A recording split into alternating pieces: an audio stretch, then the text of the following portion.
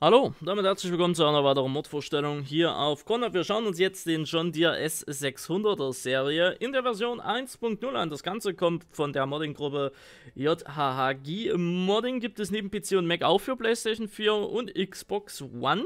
Ist wie gesagt eine Version 1.0 und findet ihr in der Kategorie Fahrzeuge und dann Mähdrescher. So, hier ist das gute Stück John Deere S680 bis, X bis S690 Series, so rum. 543 PS Standardleistung, 1250 Liter Diesel, 55 Liter Blut, 32 km/h maximale Fahrtgeschwindigkeit, Kontank standgemäß 14.100 Liter für 229.540 Euro im Leasing sowie 11.706 Euro in der, äh Quatsch, in der Anschaffung sind die 229.000 und 11.706 im Leasing. So rum wird's. Mit Grundtankverlängerungen, Reifenhersteller, Reifenvariante, Häcksler, Abdeckung, hintere Kupplung, Motorausführung, hintere Achse und Entladerohr stehen uns 1, 2, 3, 4, 5, 6, 7, 8 Config-Blöcke zur Verfügung. Ganz äh, klar.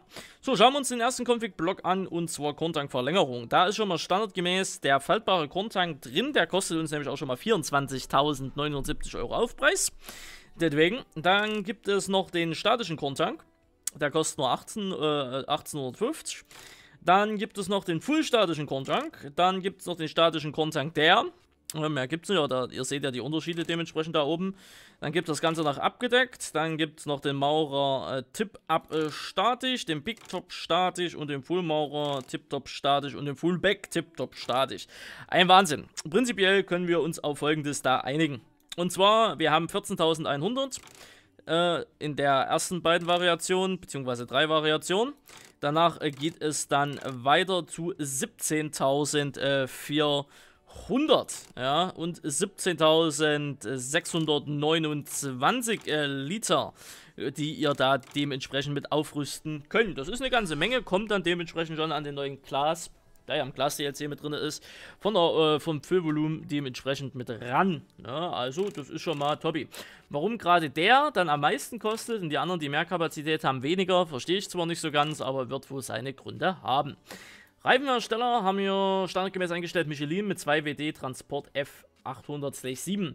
Prinzipiell kürzen wir das Ganze ab. Es gibt laut Modder 26 Radkonfigurationen, die ihr durchschalten könnt. Ich gehe jetzt hier einfach mal ein paar durch dass ihr das Ganze hier seht, ne? entweder mit Doppelbereifung vorne, das hinten dementsprechend was anderes äh, ist. Wir haben vorne theoretisch Terra-Track-Ketten in verschiedenen äh, Zollvariationen. Das ist der absolute Wahnsinn und das nur bei Michelin. Ne? Dann haben wir noch äh, Mieters, wo der ganze Spaß dann dementsprechend ebenso ist. Ja, das Ganze gibt es äh, dann, wie gesagt, auch bei denen. Aber wir haben nur Mieters und Michelin, kein Trelleborg. So, Häckslerabdeckung haben wir einmal Standard und dann einmal Powercast Verteiler.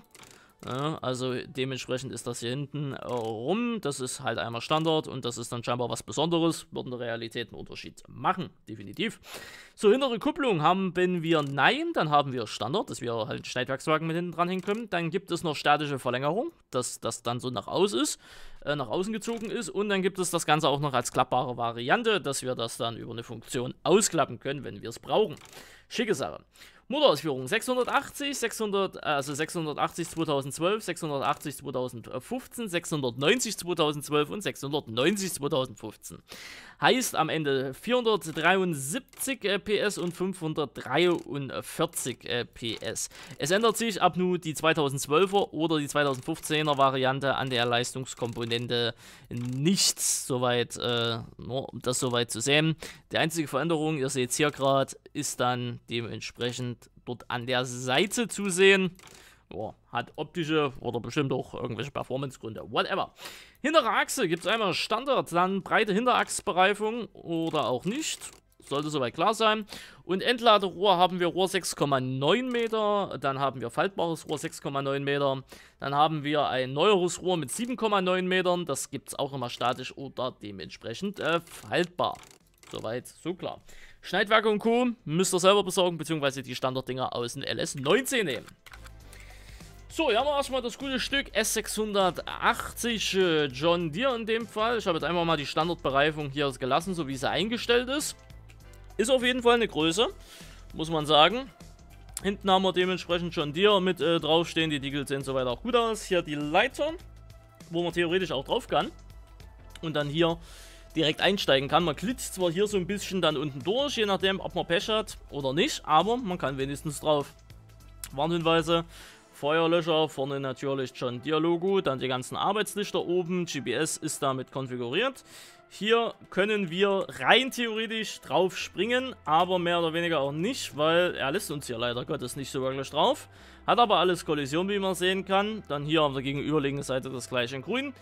Hinten im Mac-Bereich nochmal John Deere Logo, Rundumleuchte, in dem Falle hier faltbares äh, Rohr. Dann hier der extra Auswurf, Kupplung, also Dings hinten Anhängermöglichkeit, habe ich in dem Falle nicht mit dran gemacht. Wenn wir dann einmal hier hochgehen, äh, sehen wir das Ganze auch, wo Motor und Co. ist.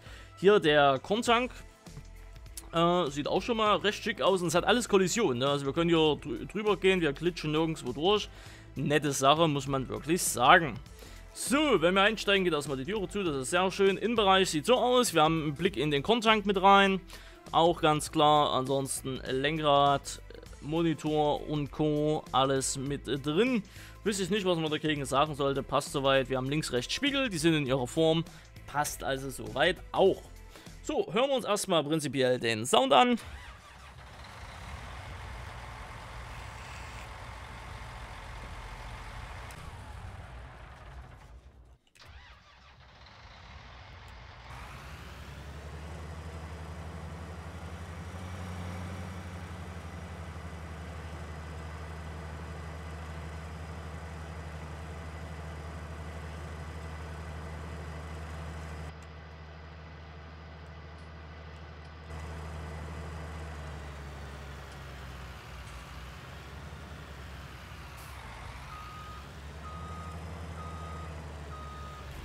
Ja, brauchen wir eigentlich nicht mehr dazu zu sagen. Das ist eine Standardseite aus dem LS19. Ja, ist soweit okay. Äh, Wenn es immer eigene Variationen sind, ist es zwar schön, aber muss auch nicht zwingend sein. So, weil er hört sich ja jetzt in dem Sinne nicht verkehrt an für einen Drescher, ne? Davon mal, also im, im fahrenden Zustand arbeiten, äh, hören wir dann ja gleich. So, gehen wir dann mal allgemein auf die Funktionalität ein. Spiegel funktionieren soweit, sind zwar in dem Sinne so ausgerichtet, dass man nicht wirklich viel sehen kann, aber ja gut, sie sind auf jeden Fall da. Wir haben äh, das ganze Cockpit hier auch mit äh, digital. Ne? Wir sehen hier unten die kmh-Anzahl. Wir haben es einmal auf dem Monitor, wir haben es einmal hier äh, rechts auf der äh, Säule mit dazu, plus oben nochmal auf dem Monitor. Das ist alles mit dabei. Der Joystick hier ist animiert. Ihr seht auch von außen, es wird mit den Füßen gearbeitet. Das ist auch sehr, sehr gut. Kann man auch nichts dagegen sagen. Wenn wir uns das Ganze einmal hier nachts anschauen, sehen wir auch, dass wir die Blinker hier drin haben und die werden uns auch angezeigt, ob wir Warnblinker links oder rechts. Genauso wird der Rest hier mit äh, beleuchtet, extra durch die Monitore. Also die geben von sich aus selber kein Licht ab, sobald wir es anschalten. Werden sie aber mit beleuchtet und wir sehen das Wichtigste, äh, was wir sehen müssen, in Erleuchtung.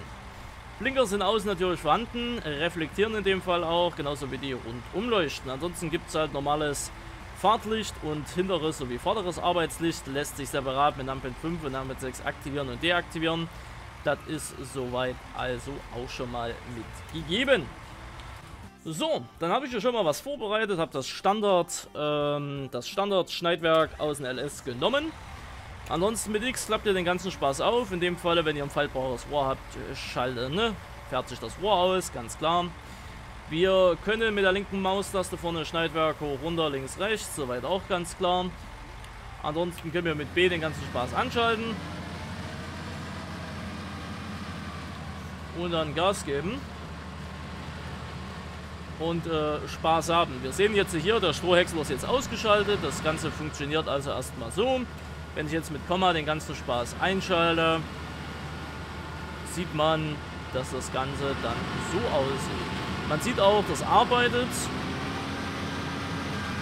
Ja, nur kurz hier, wenn das mal durch ist, sieht man es auch mal deutlicher. Ab dafür. Zack. Ja, das arbeitet also schon mal ohne Probleme. Oben beim Korntank füllt der ganze Spaß auch mit ein. Wir können von hier innen das Ganze sehen. Wir haben Indoor-Sound, das ist natürlich deutlich leiser, ganz klar. Ansonsten, ja, macht er das, was er machen soll. Und das ist der Hauptsache. Also schöner Drescher. Wüsste ich nicht, was dagegen sprechen sollte. Wenn wir uns die Log angucken, sehen wir auch, dass das ganze Log fehlerfrei ist. Könnt ihr euch also dementsprechend auch bedenkenlos mit downloaden. Ja, mehr gibt es dazu eigentlich auch gar nichts zu sagen. Download-Link inklusive Bewertung findet ihr in der Videobeschreibung verlinkt. Ich danke wie immer fürs Zuschauen. Wir sehen uns im nächsten Video wieder, wenn ihr mögt. Lasst ein Däumchen Abo da, wenn es euch gefallen hat. Und bis dann, haut rein. Tschüssikowski.